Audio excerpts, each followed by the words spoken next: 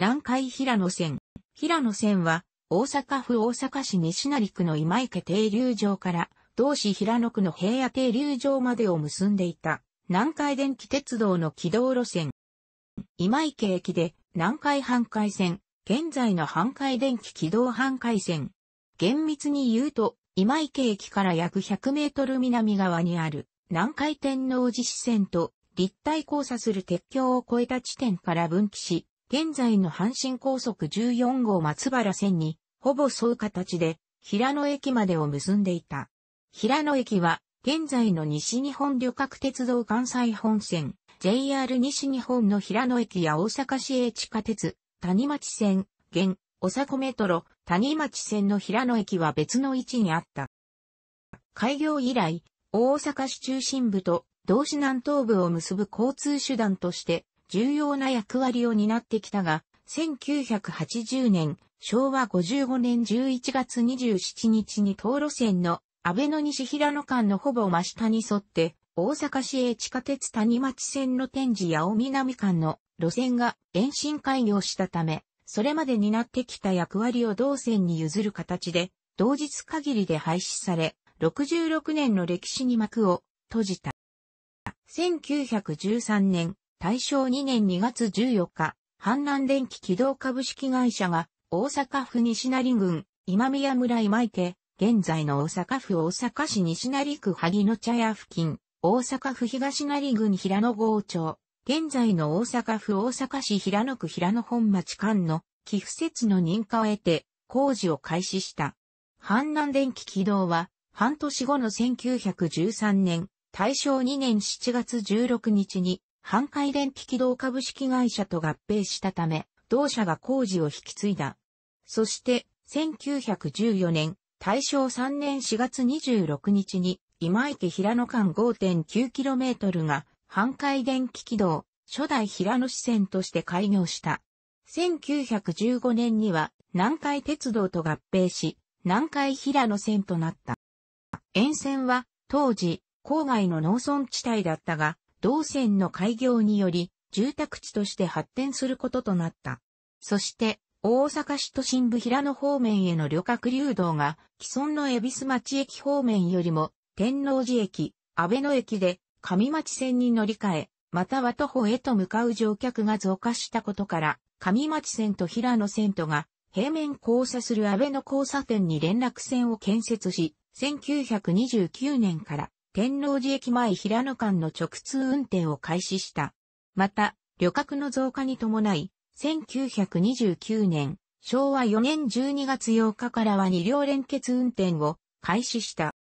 しかし1951年、昭和26年12月20日、それまで天王寺止まりであった大阪市営地下鉄1号線、後の御堂筋線が昭和町駅まで延伸された。昭和町駅は南海分の里停留場と近接していたことから、それに伴い、平野線乗客の多くが分の里停留場で、昭和町駅へと乗り換えるようになった。そのために乗客が減少し、二両連結運転も中止された。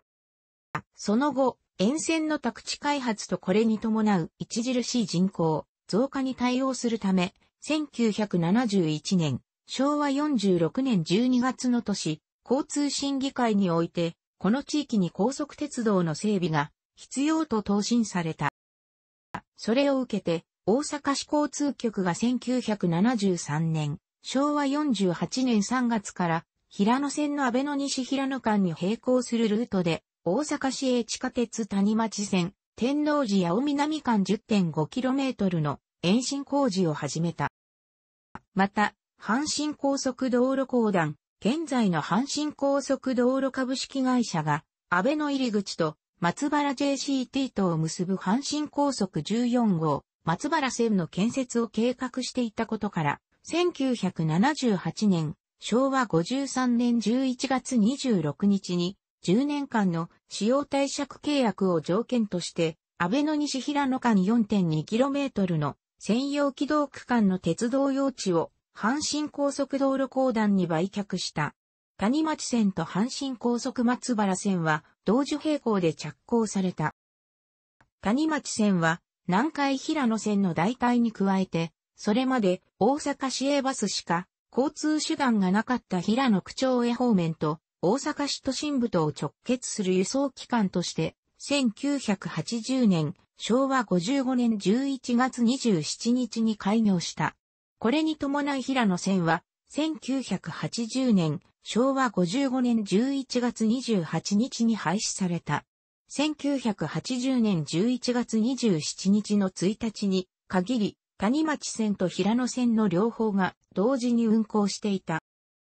平野線の最終営業日となった1980年、昭和55年11月27日は、始発電車から終日無料として開放された。この日限りで姿を消す、平野線、また、平野線専用車両として運用され、廃線と同時に廃車取ることが決定していたも205型電車を惜しんで沿線住民や鉄道ファンらが早朝から詰めかけた。沿線の各駅では、名清学院高等学校の吹奏楽部による、ホタルの光の演奏、幼稚園児から乗務員への花束贈呈、鉄道友の会主催のお別れ、会、西平野駅では、だんじり林の演奏などの行事が開催された。南海電気鉄道平野線は、今池平野間 5.9km の路線であるが、平野線のみを走る列車の設定はなく、半海線と直通運転を行う恵比寿町、今池平野間、恵比寿町今池間が半海線と上町線と直通運転を行う天王寺駅前、安倍の平野間、天王寺駅前安倍野が上町線の2系統で運行されていた。これは、平野線が半海線の今池駅から分岐する、支線として建設された経緯、平野線が合した当時の路線名は、平野支線であったがあったからである。なお、方向幕が導入された初期には、なでん、旧書体で、田辺と野中、旧書体で中野という行き先表示があったので、年末年始などの繁忙期や朝夕のラッシュ時、あるいは緊急時などに田辺止まり、あるいは中野止まりの列車が運行されていた可能性は、ある、恵比寿町駅のアンドン系の行き先表示灯にも、田辺の表示が残っていた。起点の今池駅は、平野線が駅の南方で分岐するだけのことであり、駅施設的には他の途中駅と変わらず、現在でも駅の佇まいはほぼ当時のままである。ただし、平野線と上町線とが接続する安倍野駅については、交通量の多い安倍野交差点における併用軌道上で平面交差しており、安倍野駅のホームは、平野専用と上町専用の計4つのホームが存在した。平野線の安倍野駅のホームは、安倍野交差点の東側に位置する千鳥式ホームで、下り平野方面の線路には緊急時の渡り線が存在した。天王寺駅前発平野行きの電車が、上町線の下り専用ホームを発車すると、安倍の交差点を左折東進、平野線へ入線後、再び、平野線の下り専用ホームに停車したのに対して、平野発天王寺駅前行きの電車は、平野線の上り専用ホームのみに停車し、発車後、交差点を右折北上して、上町線の天王寺駅前駅へと向かった。これは当時、上町線の下り専用ホームは、安倍の交差点の北側にあったのに対し、上り専用ホームが安倍の交差点の南側にあったためである。4つのホームのうち、このホームだけ道路上の白線のみで安全地帯がなかった。平野から来た列車の扱いは操車係員が、めぐみ、恵美須町、天音、天王寺駅前のいずれかのボタンを押し、構内信号が青と同時にブザーチャイムが鳴り発車する方式をとっていた。なお、平野線の廃止後、阿倍野再開発事業によって、あべのベルタ東側の交差点に新駅が新設され、安全地帯も設置、下りホームとの相対式となっている。なお、平野線の安倍の駅ホームは、安倍の最上前として、駅の表示や車内における車掌の停車案内において、上町線のそれと区別されていた、少し前まで交差点名にも最上前が残っていたが、現在は解消されている。最上前というのは、かつて大阪一と言われた大阪市営南西条、安倍の西条に由来する。仮想施設は後に、売り割西条、平野区に統合されて移転するが、今も都心の一等地に存在する広大な敷地の大阪市営南霊園、安倍の墓地にその名残を止めている。平野線は南海大阪軌道線の中で最も専用軌道区間が多かったことから、郊外電車のような趣もあり、前述したような連結運転なども行われた。苗大田分の里間には、大阪府道28号大阪高石線、阿鼻子筋と交差する踏切が、中野西平野間には、今里筋と交差する踏切があり、交通渋滞を引き起こしていた。また、計画道路として、文の里からまたが池間には、松虫通が、西平野平野間には、主要地方道大阪内環状線、現在の国道479号の建設が進みつつあったことから、これらの道路と交差する踏切も交通渋滞を引き越し越すことが予測された。平野線に入線する列車は円形の板を使用し、恵比寿町平野が白地に黒文字、天王寺駅前平野が青地に白文字で、それぞれ始終着駅を並列表記していた。戦後、新造されたも351型、も501系車両の行き先表示が布製の方向幕式で登場し、ワンマン改造されたも121型、も151型、も161型、も205系、一部のみ、も301系車両、それに、元京都市電のも251系の行き先表示も布製の方向幕式となった。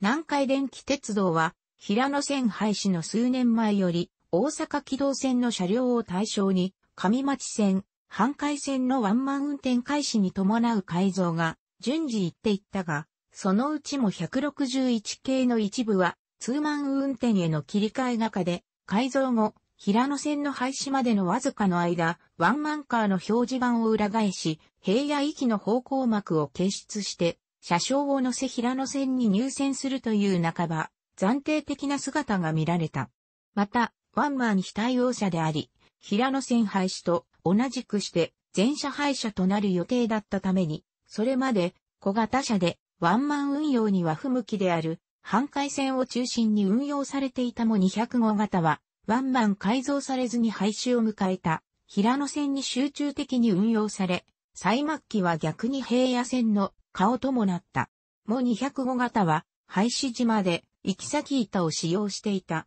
なお、その後に車両計画に変更があり、3両のみ、ワンマン改造され、半回電気軌道に継承されている、すでに廃車。ちなみに、平野線が廃止される2年前の1978年、昭和53年9月30日限りで、全廃された京都市電1800系の6両が譲渡され、大阪軌道線のも251型として運用を始めている。ワンマン改造車共通の方向幕のため平野が存在しており、数えるほどではあるが、平野線での運用が確認されている。現在、半海電気軌道に引き継がれている。南海時代からの車両も161型、も251系、すでに廃車になっているが、256号車がアビコ道車庫に保管されている、も351型、も501系の旧タイプ、もはや皆無に等しいがも161系174号車には残っている。ただし廃車解体済みの方向幕を参考に示す。実物は円形。通常の電車最終電車通常の電車最終電車。全駅大阪府大阪市に所在。接続路線の事業者名は廃止時点のもの。廃止当時の普通運賃は以下の通り。平野線は平野からさらに中河内郡柏原町現在の柏原市方面への延伸を計画し認可を受けていたが1929年に発生した世界恐慌の影響や1931年に勃発した満州事変に始まる戦争への突入よって実現しなかった。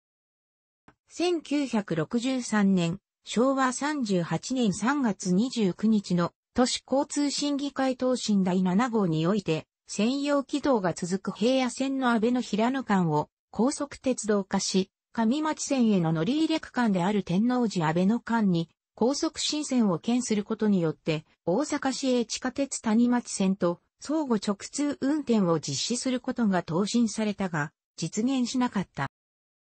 大阪市営地下鉄谷町線の天王寺、八尾南間の延伸の際、安倍の平野間は既存の平野線の安倍の西平野間に沿う形で建設されたが、今池安倍の間は谷町線のルートから外れた。厳密に言うと、西平野平野間も谷町線のルートから外れているがため、平野線の飛騨駅からほど近い大阪市道、つもり安倍の線、飛騨安倍の間の併用軌道があった道路と、堺筋、今池、平間の踏切があった道路とが、T 字に交差するロータリー、現、天下茶屋東一交差点西側にあった、半海線の踏切両側、今池松田町間に、今船駅を新設し、この駅を、平野線の飛騨駅の代替駅とし、今池、日玉をこれに置き換えた。そして、残る日田安倍の間は、南海観光バス、天下茶屋営業所が運行するマイクロバスによる代行輸送となったが、半海電気軌道となった半海線と上町線との接続の悪さに加え、実際の運行距離よりも、安倍野での折り返し回送、安倍野交差点は展開禁止の距離方が長かったことによる効率性の悪さがあだとなって結局、1年ほどで廃止された。廃線跡は、ほとんどが生活道路と化している。楽しくご覧になりましたら、購読と良いです。クリックしてください。